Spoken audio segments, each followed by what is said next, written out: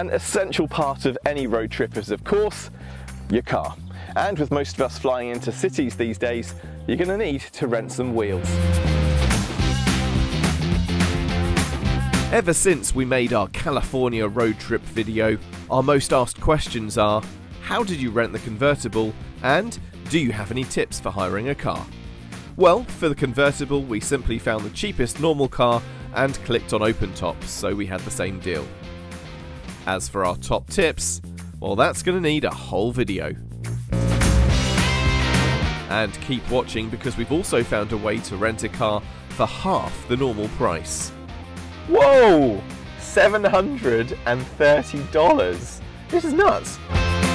We love travelling for less, but enjoy giving away our secrets just as much. Before we book anything, let's do a quick fire car rental Q&A to see if we can save you even more cash really quickly.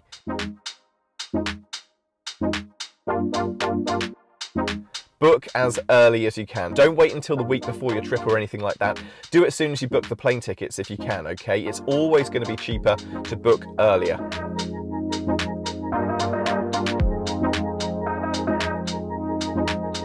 Yes and no. No, because it's included in so many prices these days, but yes, if you want peace of mind. Plus, it will open up another hack for you.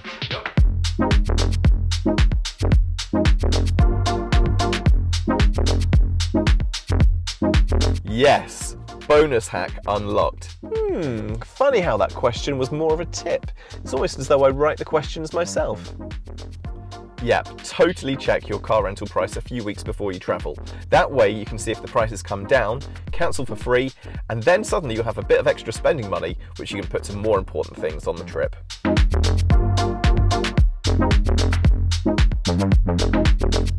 Nope, most airlines will actually let you check them as baggage on the flight for free, so why throw your money away? Yeah, sure, it is a bit more hassle when you're getting everything checked and when you're actually at baggage reclaim, but it's totally worth it for the money you'll save. I've actually got a hack for when you're traveling with loads of luggage and kids and need to pick up a rental car. So instead of you all getting a shuttle bus with all the luggage and all the baby carriers and all the things that you've got, leave everyone with your other half and you go solo to go and pick up the car, okay? That way everyone can sit, they can get a coffee, get some snacks, and you can just chill while you get the shuttle bus by yourself. When you've picked up the car, simply phone ahead and glide into the arrivals to pick up the kids with no hassle at all.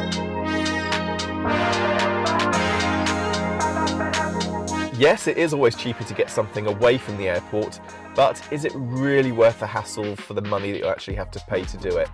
If you haven't got kids, you may want to try it, but we found that when we've done it before, you actually lose a bit of the day of the holiday by actually going to pick up the car and everything. So for us, it's not really worth the hassle.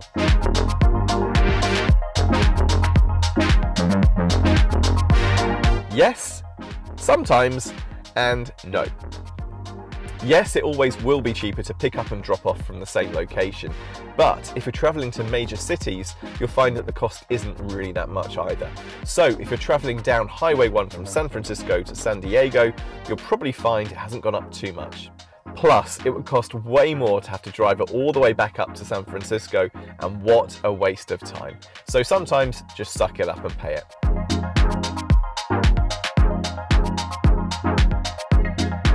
They're essential these days, aren't they? But you have them on your phone. So why pay $5 a day or £5 a day to hire one? Take your charger, take your holder from home and use that in the car. And quite often they have CarPlay and Apple Pay and all those kind of things. So it's actually even better and you don't actually have to look on your phone for it. It will zoom up to a big screen for you. So way better than that. Brits, if you're worried about getting stung by roaming fees internationally, don't worry. Three have a great SIM card which lets you take it over to 70 different countries and it mirrors your plan that you've got in the UK. So you can actually use it for pretty much free. So that's my top tip for that one. Not sponsored, just saying.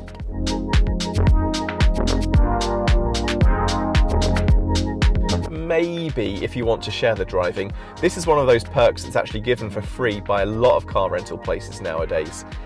Alicia's not really bothered about driving when we're out in the States, so if it's free, I'll add her. If it's not, we don't worry. But if you do want to share the driving, check two quotes and see which one comes out the best price and if it's worth it. Americans coming to the UK, I would say yes, because you've got a lot to contend with. You've got the wrong side of the road, you've got roundabouts, you've got lots of passing. The last thing you need is a stick shift to have to deal with as well. Brits coming to the States, don't pay extra. Automatic is always included as standard.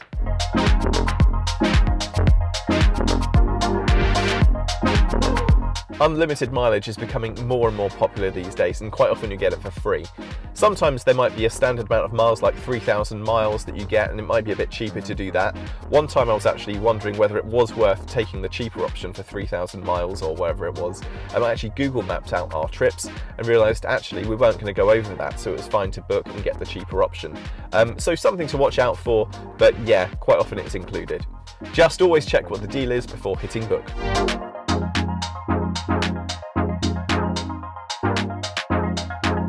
Why would you pay their price for fuel when there's loads of gas stations around airports?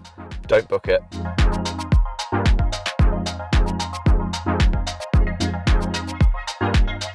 Yes, it's all great evidence in case something happens or didn't happen.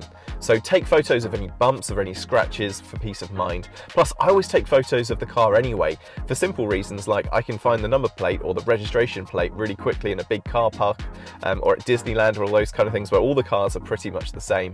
And also take a photo of your odometer inside the car, and that way you can see if anyone's tried to add any miles on at the end of the trip as well.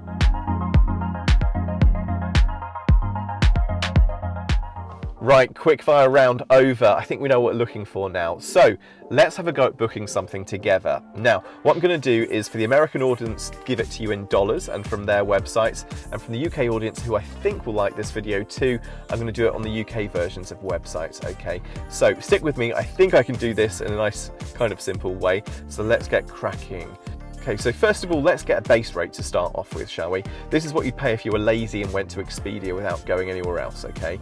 I'm going to choose the same dates for everything we look at. So 1st of August to the 15th, a two week trip. I'm going to pick up in San Francisco and drop off in San Diego. I'm going to base everything on a Toyota Corolla, which is a kind of a good mid-sized car, but not in that premium bracket, so more of you can go for it. I'm also going to add collision protection to the American prices, so it's a fair comparison with the other sites that we come to, okay? So our starting price is $1,327 on the US page. Now, over on the UK's Expedia page, we're starting at £807, which is $1,100 roughly, so cheaper in the UK version. Now, the extra insurance is given as part of the deal here on the UK one, so nothing extra to add on at all, so we're doing better already. Now let's see how much we can save by searching together. So first up, let's start with rentalcars.com. They're usually really competitive. Ah, oh, 1,237 on the USA website. That's more than Expedia. Oh, um, okay. Let's go to the UK login. Yeah, it's 704 pounds, which is $965. Yeah, much cheaper to buy it in the UK. Right, I'm not going to be beaten on that USA price quite yet. Let's keep going. Let's check out economybookings.com for the same trip. US website first. It's coming out at $1,209 and they include full coverage for their insurance, which is good. Although you can make it even cheaper if you have your own insurance, which might cover it. So that's $118 cheaper than Expedia. Good. Brits, okay, right now your turn on economybookings.com. Ah, it's more expensive for the Corolla. No problem. But look at this. It's even cheaper for me today to get a Jeep Compass for £594, that's $815 for two weeks. A Jeep Cherokee's £603, that's $827.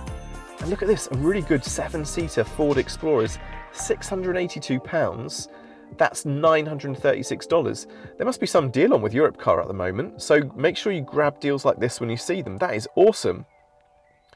I would definitely be upgrading from that Corolla to the Jeep at this point. Now we know our best deals are from economybookings.com. In the UK, it's through Europcar, and from the US, it's from Fox Rent a Car. Let's do another check to see if I can bring the price down even more. So I always try to go directly to the rental companies to see if we can get it any cheaper without going through that middleman. So let's go to Fox Rent a Car first. So $1,237. It's gone up actually through them.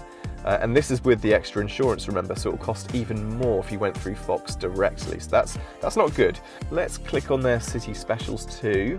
They always usually have deals going on at some point.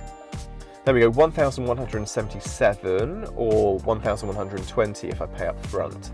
But as I said, this is without any insurance. So you'd need to add the loss damage waiver and supplemental liability insurance potentially to match the others, and it's gone up to $1,500, so way more. You could always sign up for their email newsletter as that normally gets you some money off too, but I think we're going to go back to economy bookings for this one for that. Now it's the UK's turn. Let's see if it's any cheaper to go through Europe Europcar directly. Whoa, now the Corolla's come up at £532, which is $730. That is crazy. What does it include though? Okay, it has an extra driver and nearly all insurances apart from the supplementary liability. Uh, the Jeep Compass is more expensive from them directly, but we know where to go we want that car. So the Corolla is back to being the cheapest again. Let me be cheeky and see how much it is through the American Europcar website and see it that way. Whoa! $730! And that includes collision damage waiver too. This is nuts. And if I include the personal accident cover, it's still under $800. I'm a bit in shock. I wasn't expecting that to work so well at all. It really does go to show how important it is that you do some searches and maneuver around if you've got the time to do it, doesn't it? Maybe the hack is to see where it's cheapest in the UK and then book it through an American one at that point. I don't know. Um, just so you know, this isn't a sponsored post at all. Europcar have nothing to do with this. This is just pure luck. That is crazy. So let's compare our starting price to our best deal, shall we? We began on Expedia USA, who were offering a Toyota Corolla for two weeks for $1,327. With some searching, we got the same deal for $730. That's nearly half. From Expedia UK, we started off at £807, which isn't awful, but we got it down to £532, which is a third off result. That is amazing. I'm impressed. I didn't think I was going to do that well. I thought I might take a few hundred dollars off, but not that much. Now, before we hit book, three more curveballs just to help you out a bit more with your booking. First up, check to see if you can unlock special deals through your store cards, loyalty cards, credit cards, or air miles. Even if exactly the same price as elsewhere, you're likely to earn points on top curveball 2, for some reason, Sixt is really competitive for long deal rentals. Here are the deals for the two weeks we've been putting in so far. So the Toyota Camry is the most similar. It's £1,232 for two weeks, which isn't great. If I put it in for six weeks though, it's only 1,379. That's not bad, is it? On the American site, it's 1,700 for two weeks, but again, just 200 bucks more for six weeks. They don't include insurance for US residents, so on a long rental the fees can go sky high. I'll make a video about that if I can to help. Curveball 3, is there a cashback website you can go through before you book? In the UK, I use Top Cashback and have saved hundreds over the years. I think in the USA the most popular version is called shopathome.com. Well, putting my cheapest quote through Top Cashback would give me 10% back, which would mean I'd pay a total of £479 once they paid me back. Shop at home was only a 3% discount, but hey, that's not bad. Also, the Honey browser extension is always good for promo codes, so why not see if you can bring the price down through that too. Well, we've saved hundreds today, haven't we? I'm a bit shocked at how much we actually saved in the end, but it does go to show don't be lazy with your searching for car rental prices. Deals are out there, okay? Also, we know what came out on top today, but it's never the same. If we did exactly the same searches tomorrow or the next week, it would come out completely different. So make sure you check those big comparison sites first before you delve deeper and do a few more searches, okay? I'll leave a few links for you below. Just because Europcar won today doesn't mean it will next time. Don't forget if you've got free cancellation, make sure you check the price again a few weeks before your trip to see if you can cancel it and get it for an even cheaper price that way too. Now, what rental car insurance do we need for our trip? It's going to need another video, isn't it? Also, click down here to find out our top tips for driving in the USA. For example, did you know you can go on red light? We hope this video helps you live the life of Riley for less. Let us know how you get on in the comments below. See you next time.